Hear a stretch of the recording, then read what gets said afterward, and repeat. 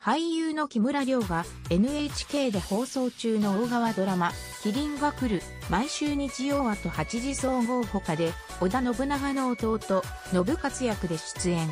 15日放送の第9回に初登場する。大河ドラマは、風林火山、2007年、武田義信役以来、13年ぶり2作目。本作の織田信勝は、うつけと呼ばれる兄、信長とは違い、色白で美しく賢いことで、母、土田御前、断礼の寵愛を受けている、ということだが、図書館に行ったり文献を調べたりしましたが、信勝はほとんど史実に残っていません。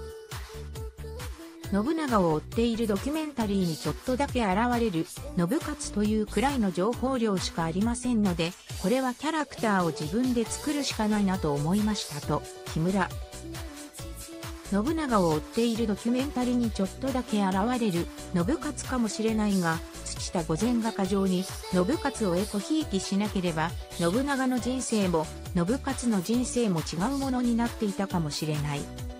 木村は、この役に対してどのくらい自分がアプローチできるのか、今回僕にとってはとてもチャレンジでしたし、キリンが来るの中でどのくらい信勝の印象を残せるのか、常にセンサーを張りながら演じさせていただきました。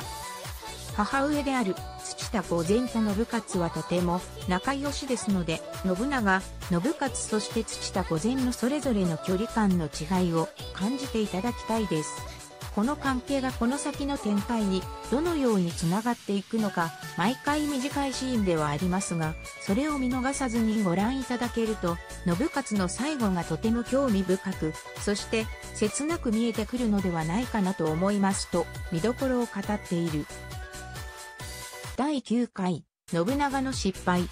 腰入れしたものの祝言をすっぽかされた貴重、川口春奈は、ようやく翌朝帰ってきた、信長、染谷翔太と顔を合わせる。奇妙ないでたちだが、領民のことを思いやる姿、そして素直に前日の不在を浴びびる信長に興味を持つ。本義に上機嫌な信秀、高橋克典と土伝御前、断礼だが、信長が持参した祝いの品を見て、激しく叱責する。父にも母にも愛されない、孤独な信長の姿を見た機長は、鉄砲の手ほどきを受けてながら、自分も父が時々大嫌いになる以外は好きだと言い、信長に寄り添う。一方、美濃の光秀は、後の制裁となる、広子、木村綾乃と懐かしい再会を果て足していた。